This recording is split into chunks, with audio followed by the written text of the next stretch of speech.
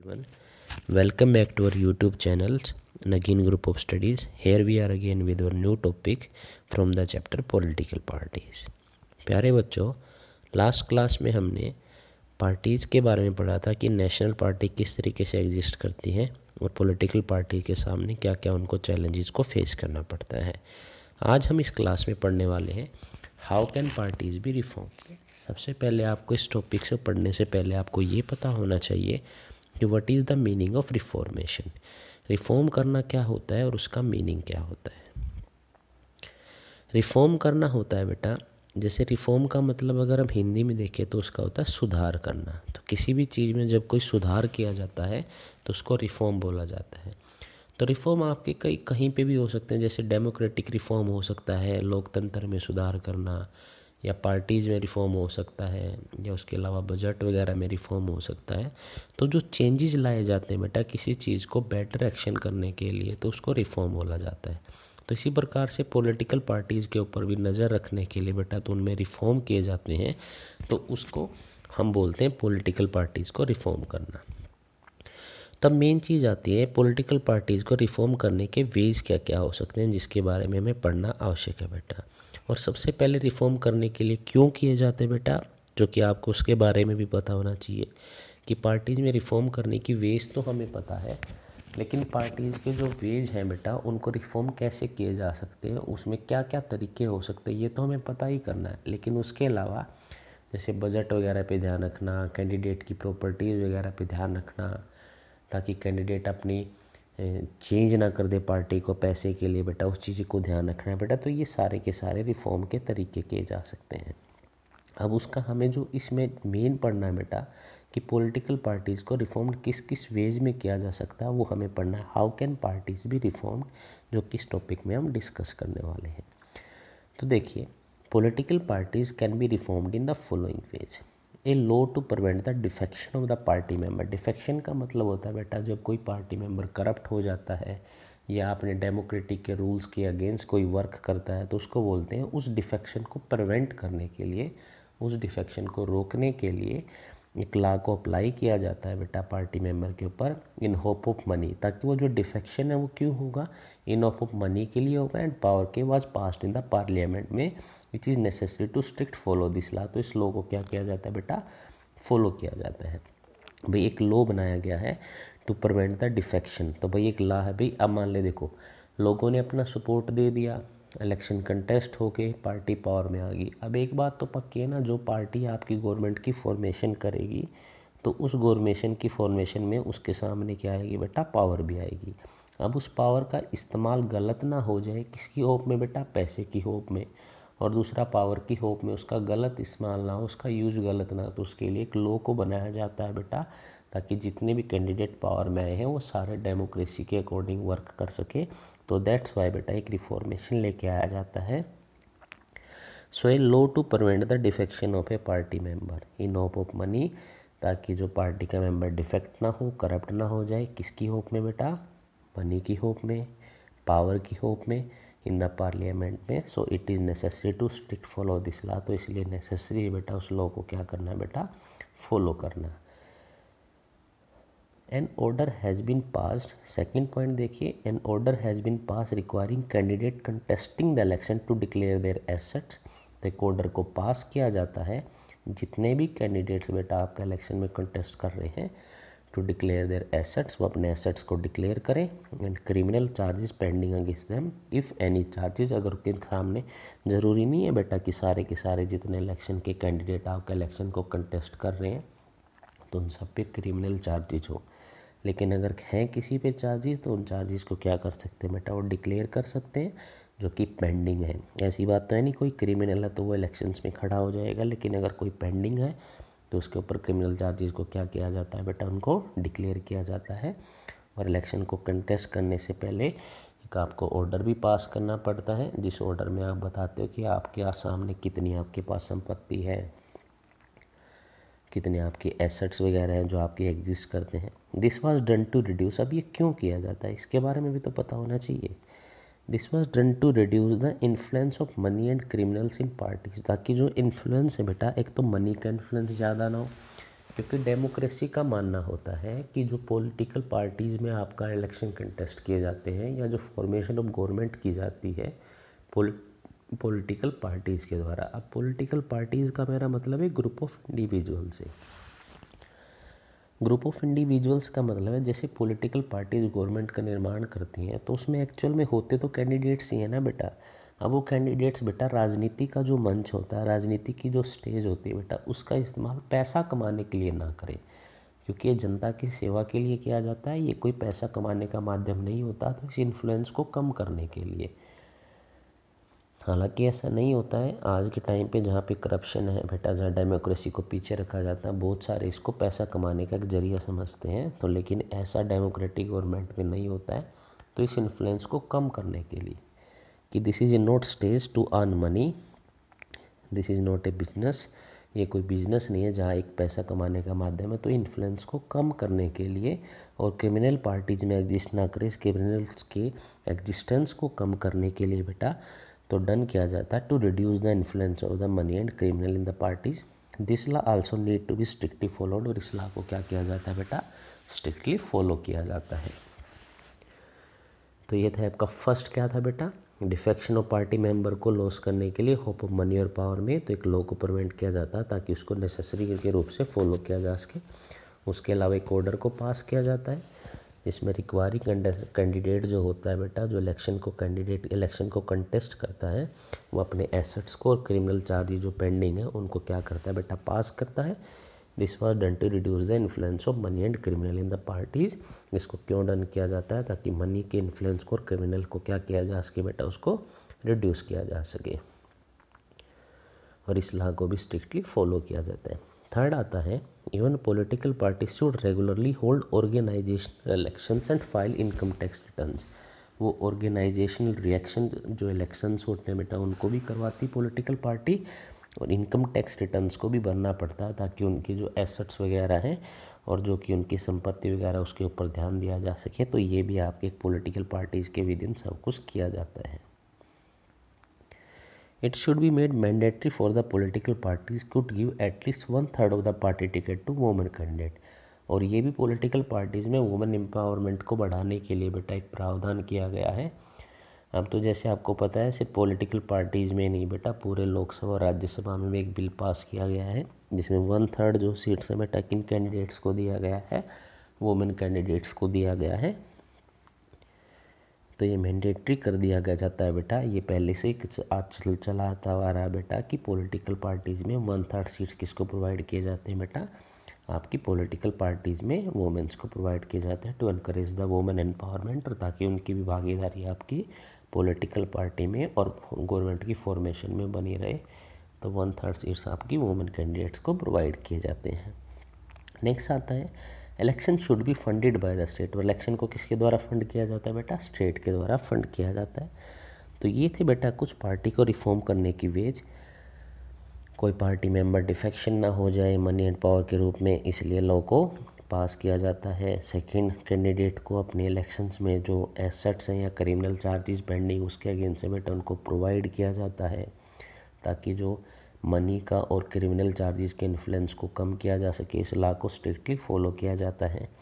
Political parties को organisation elections को hand करते हैं और इनकम टैक्स रिटर्न्स को फिल किया जाता है और मैंडेटरी है पॉलिटिकल पार्टीज़ को कि एटलीस्ट उनको वन थर्ड है बेटा, पार्टी टिकट्स किसको, वुमेन कैंडिडेट्स को देना पड़ता है। Election should be funded by the state और इलेक्शन को किसके द्वारा फंडेड किया जाता है बेटा? स्टेट के द्वारा फंड किया जाता है। Many suggestion have not been accepted by the political parties so thus देखो, कुछ बहुत सारे सजेशन है बेटा पॉलिटिकल पार्टीज़ के द्वारा एक्सेप्ट नहीं किए जा रहे बेटा। लेकिन ये सबसे मेन इंपॉर्टेंट बात यहाँ पे जो सोचने की है, वो यहाँ सोचने की बेटा सजेशंस देखो, जितने भी लॉ वगैरह हैं बेटा, वो सब पॉलिटिकल पार्टीज़ के द्वारा क्या किए जाते हैं? फॉलो किए जाते हैं। लेकिन जब बात आती है सजेशन की तो यहाँ पे एक डोमिनियन पावर होती है पॉलिटिकल पार्टी के पास, वो सजेशंस को एक्सेप्ट कर भी सकती है और नहीं भी कर सकती। है it is according to the according to the will of the party होता है बेटा। So many suggestions have not been accepted by the political parties thus it is important for the public तो पब्लिक के लिए important होता है to organise protest and rallies to demand the passing law of the effect बेटा। तो अगर मान ले कोई सजेशन ऐसा है जिसमें लगता है पब्लिक को ये पास होना चाहिए, लेकिन पार्टी के द्वारा उसको नहीं माना जा रहा तो उसके विरोध में जो जनता है बेटा, वो हिंसा ना करके बेटा एक बिल्कुल प्रोटेस्ट कर सकती है। प्रोटेस्ट का मतलब आंदोलन कर सकती है और रैलीज निकाल सकती है to demand the passing the law of this affect जैसे कि आपने देखा होगा, कोई भी पार्टी मान ले पावर में है और जनता को अपनी कोई मांग बनवानी पड़ती है तो उसके रूप में क्या निकाले जाते हैं बेटा? रैलीज और प्रोटेस्ट निकाले जाते हैं। अगर इसका आप एग्ज़ाम्पल करंट में देखना चाहेंगे तो जैसे मान लें कोई भी रेसलर्स वगैरह उनको अपनी डिमांड करनी है तो वो प्रोटेस्ट निकालते हैं। फार्मर्स वगैरह है फ़ेमस किसान आंदोलन हुआ था बेटा। तो फार्मर के द्वारा आंदोलन निकाले जाते हैं। या फिर कोई भी समुदाय है जो कि आप किसी रिलीजन से बिलोंग करता है जाट आंदोलन हुआ था, वो भी किसके लिए था बेटा? सरकार के लिए हुआ था। तो अगर सरकार को लगता है उससे जो मान ले पार्टीज़ के हेड होते हैं, जो भी समिति के हेड होता है, वो सरकार के साथ बातचीत करते हैं। अगर उन सरकार के साथ ही सहमति हो जाती है तो उस प्रोटेस्ट के द्वारा उस लॉ को अप्लाई कर दिया जाता है। तो गवर्नमेंट के प्रति अगर कोई भी हमें किसी डिमांड को मानना है या किसी ऑर्गेनाइजेशन को कोई भी डिमांड को सामने लेके आना है तो उसके लिए प्रोटेस्ट और रैलीज निकाली जाती हैं। The functioning of the political parties can be further improved और उस फंक्शनिंग को इम्प्रूव करने के लिए the people who support the changes जो इन द पार्टी जो इसमें सपोर्ट चाहते हैं, इन चेंजेस को लेके आना चाहते हो पार्टी को क्या कर लेते हैं बेटा? ज्वाइन कर लेते हैं। तो इस प्रकार से जो जनता होती है बेटा, वो पॉलिटिकल पार्टी जो होती है बेटा, उसको क्या करती है? इम्प्रूव करती हैं और उसको चेंज करने का क्या करती हैं बेटा? प्रावधान लेके आती है किसके द्वारा? रैलीज के द्वारा और उसको क्या करती हैं बेटा? प्रोटेस्ट करती हैं। तो इस प्रकार से ये था बेटा, हमारी पार्टीज़ को रिफॉर्म कैसे किया जाता है? मैं एक बार लास्ट टाइम बता सकता हूँ आपको कि प्रिवेंट डिफेक्शन को प्रिवेंट करने के लिए मनी इन पावर के लिए पार्लियामेंट में क्या किया जाता है? एक लॉ को पास किया जाता है। एक ऑर्डर पास किया जाता है जिसमें जो इलेक्शन में कंटेस्ट कर रहे हैं, जो कैंडिडेट इलेक्शन में कंटेस्ट कर रहा है, उसको अपनी एक डिक्लेयर करना पड़ता है कि उसकी एसेट्स कितनी हैं। जो एसेट्स हैं बेटा, वो कहाँ से, उनका सोर्स क्या है? सोर्स ऑफ़ इनकम क्या है? कोई क्रिमिनल चार्ज तो उनके प्रति पेंडिंग नहीं है बेटा। ये सारी की सारी आपकी कागज़ी कार्रवाई के रूप में, डॉक्यूमेंट वेरिफिकेशन के रूप में सारी की सारी आपकी गवर्नमेंट को प्रोवाइड करनी पड़ती है। इसका मेन मोटिव क्या होता है? What is the main motive behind this declarations and that to reduce the influence of the money ताकि जो इन्फ्लुएंस है मनी का बेटा, या क्रिमिनल्स का पार्टीज़ में उसको रिड्यूस किया जा सके। और law also need to be strictly followed और लोगों को क्या किया जा सके बेटा? स्ट्रिक्टली फॉलोड किया जा सके। So every political party should regularly hold organisational elections बेटा। और जो आपकी पार्टी होती है, वो ऑर्गेनाइजेशनल इलेक्शंस भी करवाती है। इनकम टैक्स रिटर्न्स को फिल भी करवाती है। तो ये मैंडेटरी हो जाता पॉलिटिकल पार्टीज़ के लिए। और दूसरा पॉलिटिकल पार्टीज़ के लिए एक और मैंडेटरी चीज़ क्या होती है कि जो वुमेंस होती हैं बेटा वुमेंस को वन थर्ड सीट्स को प्रोवाइड किया जाता है, जो कि आपका पहले से ही होता आ रहा है। लेकिन फ़िलहाल में आपको पता है कि वन थर्ड जो वुमेन एम्प्लॉयमेंट को बढ़ाने के लिए बेटा आपका लोकसभा और राज्यसभा में क्या है?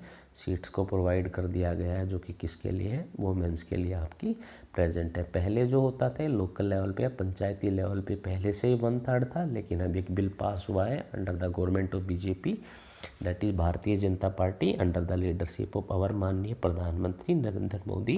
उन्होंने वन थर्ड सीट्स को किसके लिए, लोकसभा में राज्यसभा में किसके लिए प्रोवाइड कर दिया है वुमेन एम्पावरमेंट के लिए अभी फ़िलहाल में प्रोवाइड कर दिया गया है। उसके अलावा कुछ सजेशंस हैं जो पॉलिटिकल पार्टीज़ को दिए जाते हैं, जिसमें टोटल डोमिनियन पार्टी का रहता है। डोमिनेशन जो होता है, उसमें पार्टी आपकी सजेशन को एक्सेप्ट कर भी सकती है और नहीं भी कर सकती है। अगर आपको पार्टी के प्रति कोई विरोध दिखाना है या किसी लॉ को पास करवाना है तो जनता इसमें रैली जो प्रोटेस्ट करती है, जिसमें हिंसा होती है या कोई भी वायलेंस है बेटा, उसको बिल्कुल भी आपकी डेमोक्रेटिक जो गवर्नमेंट होती है, उसकी परमिशन नहीं देती है। लेकिन आप बिल्कुल नॉन वायलेंस के रूप में अपनी प्रोटेस्ट कर सकते हैं रिलीज़ कर सकते हैं, जिसकी परमिशन आपको डेमोक्रेसी बिल्कुल प्रोवाइड करती है और आप उस लॉ को पास करवा सकते हैं। तो ये था parties can be reform. That is और लास्ट टॉपिक एक बार at a chapter at a glance में पढ़ लेते बेटा, हमने क्या क्या पढ़ा इसके बारे में? सबसे पहले हमने पढ़ा था बेटा इस चैप्टर के मीनिंग के बारे में कि पॉलिटिकल पार्टी क्या होती है। एक बार फटाफट इन सारी चीज़ों को रिवाइज कर लेते हैं और उसके बाद इस चैप्टर का एंड करते हैं बेटा। A political party is a group of people who come together to contest elections. जो ग्रुप ऑफ़ पीपल होता है बेटा, जो कि आपकी पॉलिटिकल पार्टी से बिलोंग करता है, जो कि कम टुगेदर एक साथ आता है और इलेक्शंस को कंटेस्ट करता है that is known as political party and hold power in the government और जैसे वो इलेक्शन जीत जाता है तो बेटा उसके बाद वो होल्ड करता है पावर किसमें? गवर्नमेंट में in the form of the post of the politicians के रूप में आता है बेटा। ये political party has three components तो इसके तीन कंपोनेंट्स होते हैं, जिसके बारे में मैंने आपको बताया था। लीडर्स होते हैं एक्टिव मेंबर्स होते हैं, और फॉलोअर्स होते हैं। मैंने आपको समझाया भी था, भाई जिसको टिकट मिलता है, जो इलेक्शन को कंटेस्ट करता है, जिसको हम वोट डाल के आते हैं in the form of MLA for example तो उसको हम बोलते हैं लीडर और जो ऐसे होते हैं, जो एमएलए बनने के लिए बिल्कुल बन सकते थे इलेक्शन को कंटेस्ट कर सकते थे, पर उनको पार्टी के द्वारा टिकट प्रोवाइड नहीं किया गया। That is known as active members बोले जाते हैं। और कुछ ऐसे बेटा जो पार्टी को जिन्होंने ज्वाइन नहीं किया है, लेकिन पार्टी को सपोर्ट करते हैं, उनको बोलते हैं बेटा फॉलोअर्स बोलते हैं। तो इस प्रकार से एक पॉलिटिकल पार्टी क्या होती है बेटा? ग्रुप ऑफ़ पीपल होता है जो इलेक्शन को कंटेस्ट करता है गवर्नमेंट में पावर को स्टेबल करता है पावर को होल्ड करता है। अलग अलग पोस्ट के रूप में और उसके तीन मेंबर्स होते हैं जो इलेक्शन में खड़ा होता है that is known as leader और उसके अलावा जिसको टिकट नहीं मिला बट खड़ा हो सकता था एज एम एल ए और another post is known as the active members और जो लोग हैं जिन्होंने पार्टी को ज्वाइन नहीं कर रहा, उसके बावजूद पार्टी को सपोर्ट करते हैं उससे रिलेटेड रैलीज वगैरह को ऑर्गेनाइज करवाते हैं और सारे काम करते हैं। That is known as the followers बोलते हैं। उसके बाद आता है बेटा फ़ंक्शंस क्या क्या होते हैं? तो कि इन सारे क्वेश्चंस के आंसर क्या है? मीनिंग है, उसके अलावा जो फ़ंक्शन करती है तो एक क्वेश्चन का आंसर यहाँ पे वो भी आता है कि मैं पॉलिटिकल पार्टीज़ की नीड क्यों है बेटा? तो उसमें आता है, अब किसी चीज़ की नीड कब होती है? जब उसके हमें फ़ंक्शंस पता लगेंगे। तो पार्टीज़ क्या करती हैं? इलेक्शंस को कंटेस्ट करवाती हैं इलेक्शंस को करवाती हैं। In most democracies elections are fought mainly among the candidates democracy में इलेक्शन किसके लिए लड़े जाते हैं बेटा? कैंडिडेट्स के लिए, पुट अप पॉलिटिकल पार्टीज़। इसके करने के लिए पॉलिटिकल पार्टीज़ को, उनके बीच में इलेक्शंस को कंटेस्ट किया जाता है। Parties as lakhs of members and active separate all over the country. बहुत सारे मेंबर्स होते हैं जो कि सारी कंट्री में सेपरेट होते हैं। लॉज आर डिबेटेड, लॉ को डिबेट किया जाता है, पास्ट किया जाता है लेजिस्लेचर में। तो अगर कोई भी आपको स्मूथ फंक्शनिंग के लिए डेमोक्रेसी के लिए आपको लॉज वगैरह की आवश्यकता पड़ती है लॉज वगैरह की नीड पड़ती है तो सारे के सारे जो फ़ंक्शंस हैं बेटा, वो किसके द्वारा किए जाते हैं? पॉलिटिकल पार्टीज़ के द्वारा किए जाते हैं। बट यहाँ पे एक मेन बात ध्यान रखने की ये है कि पॉलिटिकल पार्टीज़ के द्वारा लो तो लाए जाते हैं, लेकिन उसी पॉलिटिकल पार्टीज़ के द्वारा लाए जाते हैं जो इलेक्शंस को कंटेस्ट करके और उसको विन करके आई है और जिसने गवर्नमेंट की फॉर्मेशन की है। ऐसा नहीं है कि आपने पार्टी की फॉर्मेशन करती तो आप लो बनाने के लिए बिल्कुल सही होगी। नहीं, बिल्कुल नहीं। आपको पार्टी बनानी पड़ेगी, उसके बाद इलेक्शन को कंटेस्ट करना पड़ेगा इलेक्शन को जीतना पड़ेगा, अपनी सरकार को बनाना पड़ेगा, तब आप पार्लियामेंट में लो को करते। लेकिन एट लास्ट में बोला तो यही जाएगा ना कि पॉलिटिकल पार्टीज़ के द्वारा ही लो बनाए जाते हैं। बट उस पॉलिटिकल पार्टी की विशेषता क्या? आप कोई ना कोई पॉलिटिकल पार्टी तो आएगी ना जो गवर्नमेंट की फॉर्मेशन करेगी। तो उसी गवर्नमेंट के द्वारा बनाए जाते हैं, जिस गवर्नमेंट जिस पार्टी ने गवर्नमेंट की फॉर्मेशन की है। इस प्रकार से आता फ़ंक्शन में। उसके बाद नेसेसिटी क्या होती है बेटा? एक तो होते फ़ंक्शन में नेसेसिटी का मतलब होता है कि हमें पॉलिटिकल पार्टी की आवश्यकता क्यों होती है? क्या ऐसा संभव है कि गवर्नमेंट की फॉर्मेशन हो सकती है और हमें पॉलिटिकल पार्टी की आवश्यकता भी ना पड़े? इसके बारे में हमने चैप्टर में डिस्कस किया था।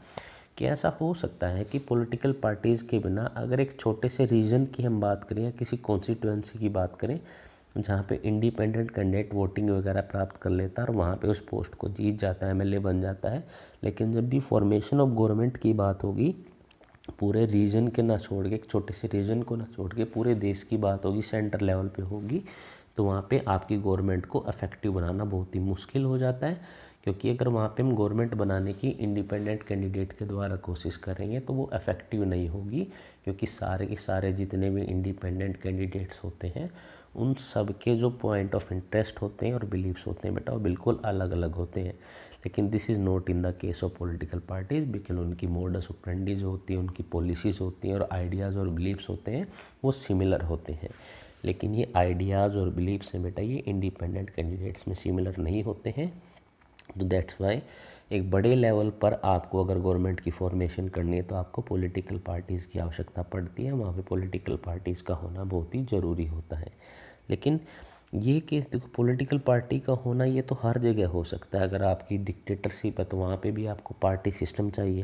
लेकिन फ़र्क ये होता है, वहाँ पे वन पार्टी सिस्टम होता है। लेकिन पॉलिटिकल पार्टी तो चाहिए ना आपको, क्योंकि आपको एक ग्रुप ऑफ़ पीपल ज़रूर चाहिए देश को चलाने के लिए, क्योंकि देश को चलाना एक इंडिपेंडेंट कैंडिडेट्स के बस की बात नहीं होता है।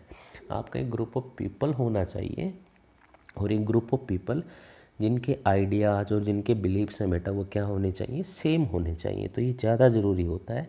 तो इसलिए हमें गवर्नमेंट की नेसेसिटी की आवश्यकता पड़ती है।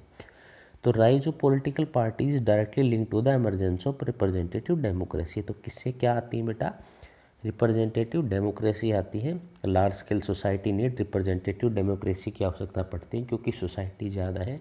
और अगर हम इंडिया की बात करें तो इंडिया में तो पॉपुलेशन बहुत ही ज़्यादा है, जो कि इंडिपेंडेंट कैंडिडेट के बस की बात नहीं, पॉलिटिकल पार्टीज़ को चलाना या, सॉरी, देश को चलाना तो यहाँ पे political parties group of people की आवश्यकता पड़ती है जिससे आप पॉलिटिकल पार्टीज़ के द्वारा गवर्नमेंट की फॉर्मेशन करते हैं। How many parties should be है जैसा कि मैंने आपको बताया था more than seven fifty parties आपकी रजिस्टर्ड हैं इलेक्शन कमीशन ऑफ़ इंडिया में, जो कि आपका एक मल्टी पार्टी सिस्टम है, लेकिन ये सारे की सारी पार्टीज़ का ध्यान रखना है। ये आपकी कंटेंडर के रूप में बिल्कुल नहीं है कि सारे की सारी पार्टीज़ बिल्कुल कंटेंडर है, नहीं। रजिस्ट्रेशन करवाना इतना मुश्किल नहीं है, सिर्फ़ आपको सिक्स परसेंट वोट लोकसभा में या लेजिस्लेटिव असेंबली में चाहिए, जिसमें आपको एक इलेक्शन कमीशन के द्वारा एक सिंबल दे दिया जाता है। और आपकी पार्टी को रिकॉग्नाइज कर लिया जाता है। कुछ पार्टी हैं बेटा मल्टी पार्टी सिस्टम में hands for the purpose of contesting election and winning power देखो मल्टी पार्टी सिस्टम में क्या होता है, या तो एक पार्टी अपने ओन पे गवर्नमेंट की फॉर्मेशन करती है, या फिर इंडिपेंडेंट कैंडिडेट्स के साथ, या किसी दूसरी पार्टी के साथ क्या कर लेती है अलायंस कर लेती है गवर्नमेंट की फॉर्मेशन कर लेती है, और ऐसी गवर्नमेंट को हम क्या बोलते हैं अलायंस या फ्रंट बोलते हैं। उसके बाद आता है बेटा आपका हाउ कैन पार्टीज़ भी रिफॉर्म अब रिफॉर्म के लिए क्या था? Constitution was amended to prevent elected M L M P for changing parties constitution को अमेंड किया जाता है ताकि जो आपके एम एल ए और एम पीज हैं बेटा, वो पार्टीज़ को चेंज ना करें। This was done because many elected representative are indulging in defection order to become minister for cash rewards बहुत सारे मिनिस्टर्स ऐसे होते हैं बेटा जो डिफेक्शन के डिफेक्शन के तौर पर मिनिस्टर बनने के लिए आपकी पार्टी को चेंज कर लेते हैं या कैश रिवार्ड लेने के लिए, जैसे कि आपका पार्टी सिस्टम में होता है। लेकिन ऐसा होता है, लेकिन अगर इसके बारे में पता लग जाता गवर्नमेंट पे तो this is a punishable act होता है। होता है कैसे? कोई भी इंडिपेंडेंट कैंडिडेट होता है बेटा, वो इलेक्शंस को जीत जाता है। तो उसके द्वारा जब एक पार्टी अपने ओन पर गवर्नमेंट बनाने में सक्षम नहीं होती है तो उसको पैसे प्रोवाइड किए जाते हैं और पैसे प्रोवाइड करने के बाद उस पार्टी को ज्वाइन कर लेता है, जिसके साथ उनकी सीट्स की पावर इंक्रीज हो जाती है और वो गवर्नमेंट की फॉर्मेशन कर लेते हैं। यही ऐसे ही चलता है बेटा, लेकिन एक पनिशेबल एक्ट है। हमारा कॉन्स्टिट्यूशन इसकी परमिशन बिल्कुल नहीं देता और ऐसा होना भी नहीं चाहिए कि कोई पैसे के लिए आपकी पार्टी को चेंज करे और गवर्नमेंट की फॉर्मेशन करें। उसके बाद आता है challenges to the political parties बहुत ही इंपॉर्टेंट क्वेश्चन है कि what will be the challenges of the political parties एक तो लैक ऑफ़ इंटरनल डेमोक्रेसी है बेटा, जहाँ पे जो डेमोक्रेसी वो पार्टी के विद इन इसको फॉलो नहीं किया जाता। चैलेंज ऑफ़ डायनेस्टिक सक्सेशन है। डायनेस्टिक सक्सेशन का मतलब क्या है? एक लीडर का बेटा ही लीडर बनता है, जहाँ पे जो डिज़र्विंग कैंडिडेट्स हैं बेटा, उनको मौका बिल्कुल नहीं मिलता ताकि वो पार्टी में टिकट को प्राप्त कर पाएँ और वहाँ पे इलेक्शंस को विन कर पाएँ। और growing role of money and muscle power in party specially during elections में क्या बेटा? ग्रोइंग रोल ऑफ़ मनी है, जहाँ पे मनी के द्वारा या मसल पावर गुंडागर्दी के द्वारा गवर्नमेंट की फॉर्मेशन की कोशिश की जाती है और लोगों को इन्फ्लुएंस किया जाता है, जहाँ पे लोग पैसे के लालच में बेटा अपने वोटिंग राइट्स किसी पार्टी को देते हैं और गवर्नमेंट की फॉर्मेशन करने की कोशिश करते हैं। तो ये भी परमिशन आपकी डेमोक्रेसी के द्वारा बिल्कुल भी नहीं दी जाती है। Often party do not seem to other दरफिन meaning choice to the voters और जो पार्टीज़ होती हैं बेटा मीनिंगफुल चॉइस नहीं छोड़ती, क्योंकि दोनों के दोनों करप्ट होते हैं तो वहाँ पे एक लेस करप्ट होती है और एक ज़्यादा करप्ट होती है। स्टेट पार्टीज़ होती हैं, लेकिन उससे पहले एक बार हम नेशनल पॉलिटिकल पार्टीज़ में देख लेते हैं बेटा। Every party has country to registered with the election commission में रजिस्टर करना पड़ता है, जिसके बाद उसको रिकॉग्नाइज सेक्शन में लिया जाता है। इन पार्टीज़ को रिकॉग्नाइज पॉलिटिकल पार्टीज़ बोला जाता है। अगर हम रिकॉग्नाइज पार्टी की बात करें तो 2006 में हमारी सिक्स नेशनल पार्टी थी, जिसके बारे में हमने डिटेल से पढ़ा था, जहाँ पे उनकी ईरो फाउंडेशन के बारे में पढ़ा था। इंडियन नेशनल कांग्रेस है बीजेपी है नेशनल मार्क्सिज्म है ये आपकी सारी की सारी, ये आपकी पार्टीज़ थी जो कि आपकी किस्में थी, बहुजन समाज पार्टी, ये सारी की सारी आपकी नेशनलिस्ट पार्टी है, जो कि आपको नेशन के रूप में इसको रिकोगनाइज़ किया जाता है। जिसके कुछ क्राइटेरियाज हैं, इन पार्टीज़ का आपको year of foundation what is the basic ideologies क्या हैं, इनके सिम्बल्स क्या हैं, ये आपको पता होने चाहिए। उसके बाद आती है आपकी state parties most of the major party of the country are classified by the election commission as state party जो मेजर पार्टीज़ होती हैं, उनको स्टेट पार्टीज़ बोला जाता है। जैसे समाजवादी पार्टी समता पार्टी राष्ट्रीय जनता दल है और नेशनल लेवल पॉलिटिकल ऑर्गेनाइजेशन है with units in several states तो सेंटर लेवल पे तो होती है, लेकिन यूनिट्स कहाँ पे होती है बेटा? इनकी स्टेट लेवल पे होती है। तो ये आपकी क्या होती है बेटा? स्टेट पार्टीज़ होती है। तो ये था बेटा आपका पॉलिटिकल पार्टीज़ का लास्ट टॉपिक जहाँ पे हमने एक बार सारे के सारे टॉपिक्स को दोबारा रिवाइज कर लिया ये कौन कौन सी हमारे टॉपिक्स आएँगे जो कि हमें पढ़ने थे। तो इस प्रकार से ये चैप्टर आपका ख़त्म होता है। इसे नेक्स्ट क्लास में हम आपके एन e के क्वेश्चन आंसर्स को कंप्लीट करेंगे, जिसके बाद आपका ये चैप्टर कंप्लीट हो जाएगा। आशा करता हूँ आपको ये चैप्टर अच्छे से समझ में आया होगा। इसके बावजूद अगर आपको चैप्टर में कोई भी परेशानी या कोई डाउट रहता तो उसको आप हमेशा की तरह आपके कमेंट सेक्शन में लिख सकते हैं। Otherwise if you like the video तो लाइक कीजिए और सब्सक्राइब कीजिए हमारे चैनल को नगीन ग्रुप ऑफ़ स्टडीज़ को। Thank you very much have a nice day